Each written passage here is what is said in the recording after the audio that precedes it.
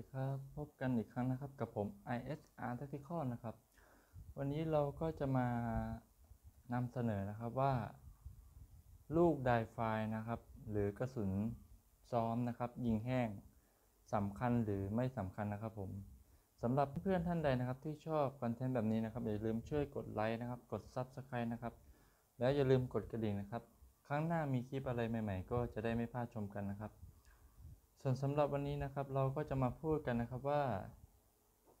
เจ้ากระสุนนะครับไดไฟนะครับ หรือกระสุนซ้อมนะครับ ยิงแห้งครับ มีความสำคัญไหมจำเป็นต้องมีไหมนะครับ ตัวนี้นะครับก็จะเป็นลูกไดไฟนะครับของ Vector Optic นะครับ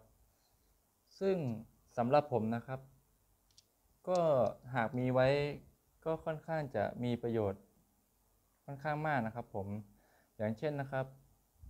เจ้าลูกตัวนี้ครับ ตรงตูดมันนะครับ ก็จะมีเป็นจุกซิลิโคนนะครับ หรือเป็นจุกยางนะครับผม ซึ่งช่วยถนอมเข็ม เข็มแทงชนวนนะครับ ให้มีอายุการใช้งานค่อนข้างมากขึ้นนะครับผม ซึ่งถนอมยังไงนะครับ บางครั้ง การที่เราซ้อมนะครับ โหลดลูกนะครับ ซ้อมลั่นไกนะครับ เข็ม แทงนะครับก็ค่อนข้างจะใช้งานค่อนข้างบ่อยนะครับ จริงๆ ถึงเราไม่ใช้ลูกนี้เข็มแทงชนวนนะครับ ก็ค่อนข้างจะมีอายุนานอยู่แล้วนะครับผม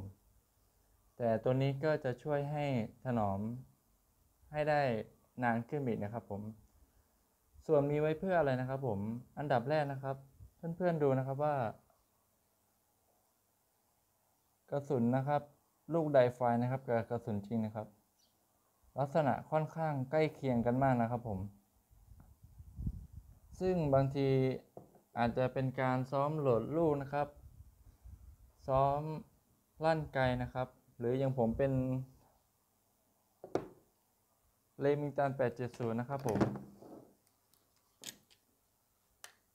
ตัวนี้ปืนผมเคลียร์ไปเรียบร้อยแล้วนะครับ ปืนปลอดภัยนะครับผม ซึ่งบางครั้ง การโหลดลูกเราอาจจะ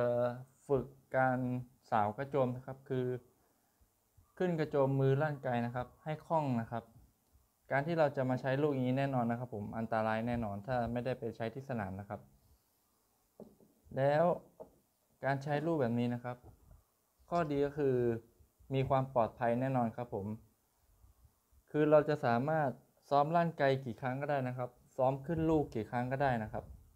โดยไม่อันตรายแน่นอน ส่วนที่ผมเลือกยี่ห้อนี้เนื่องจากนะครับ ราคา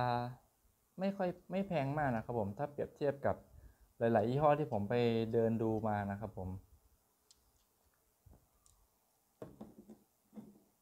ครับสำหรับคลิปนี้นะครับก็เป็นคลิปแนะนำลูกไดไฟนะครับ ผมว่าสมควรมีหรือไม่สมควรมีนะครับผม สำหรับเพื่อนๆท่านใดนะครับที่ชอบคอนเทนต์แบบนี้นะครับ อย่าลืมช่วยกดไลค์นะครับ กด Subscribe นะครับ